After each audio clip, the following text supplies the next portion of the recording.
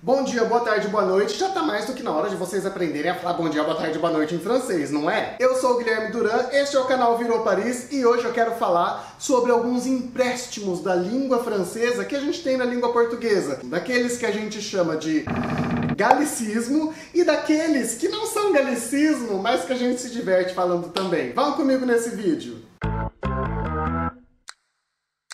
Bom, então como eu já falei para vocês, galicismo é o empréstimo que a gente faz da língua francesa para usar na nossa própria língua. A gente tem palavras em vários domínios, porque a França influenciou o Brasil em vários domínios, tanto na literatura quanto na filosofia, na, na culinária, na, os objetos, na moda, tudo. Então a gente vai ter palavras francesas espalhadas por toda a nossa vida. Palavras que a gente fala assim, ah, isso deve ser francês. E palavras que a gente nem desconfia que são francesas e que são francesas mesmo assim. Por exemplo, croquette, filé, filé mignon, maionese, purée.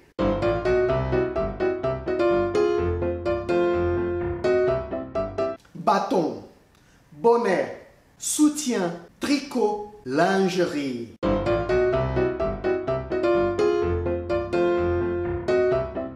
Carnet, canelot, bibelot, casse-tête, abat-jour.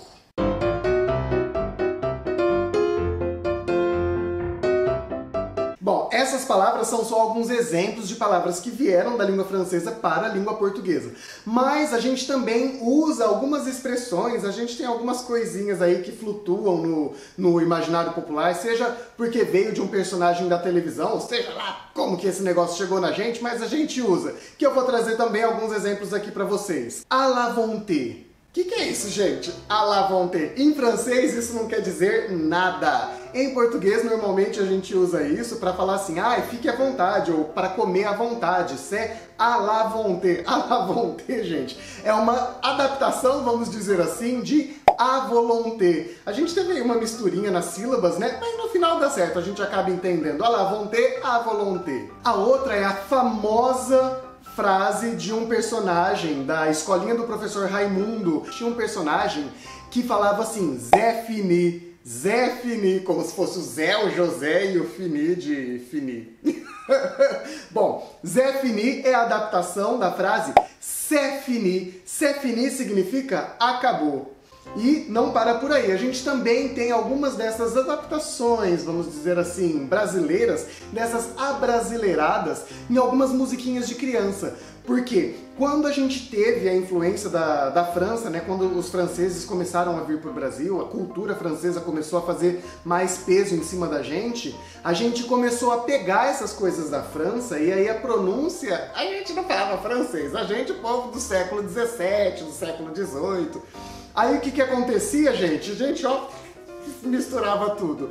Por exemplo, você sabia que a pomponeta é uma musiquinha francesa? É uma musiquinha francesa? Bom, em português a gente canta como que é?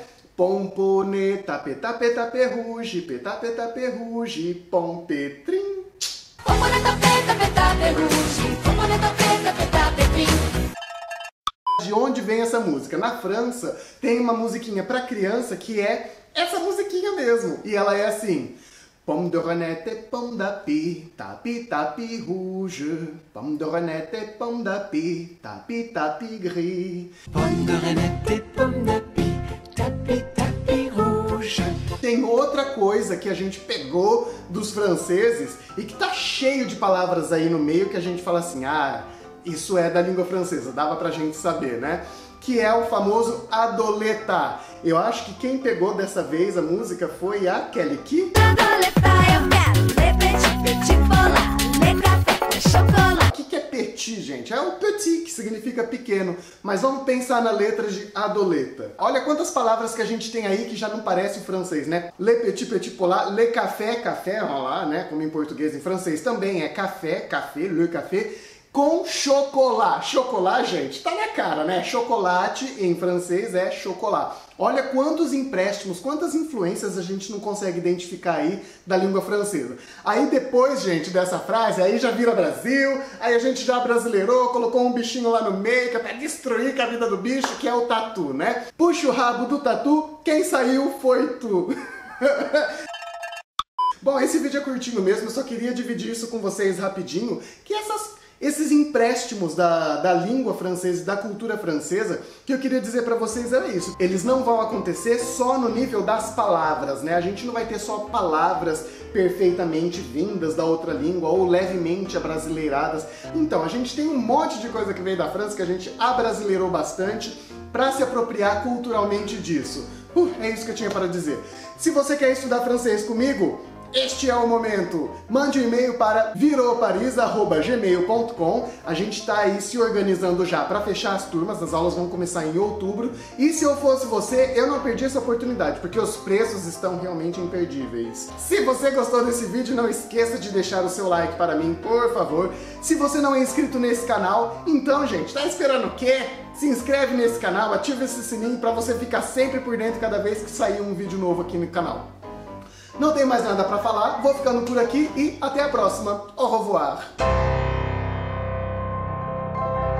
E para você que está aprendendo a língua francesa e que está acompanhando o meu canal, gente, muito obrigado pelo apoio de vocês. Eu queria deixar aqui uma proposta de uma atividade para vocês, se vocês estiverem interessados também, né? Se você não estuda a língua francesa e você tiver e você quiser mesmo assim fazer atividade, seja super bem-vindo. Para fazer atividade, vocês podem usar os comentários mesmos, respondam nos comentários e a gente vai procurando as respostas juntas. Bom, na primeira parte do vídeo eu falei sobre palavras que são os galicismos, que são as palavras que a gente emprestou da língua francesa, né?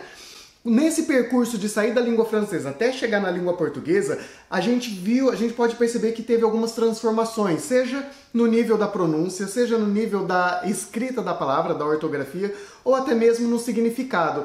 Vocês conseguem observar alguns desses três aspectos em algumas das palavras que, que eu coloquei aqui nesse vídeo?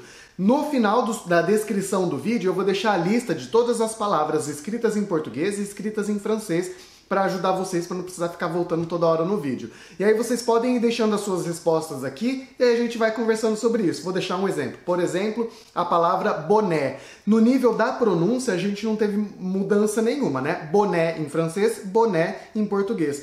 No nível da escrita teve uma mudancinha aí.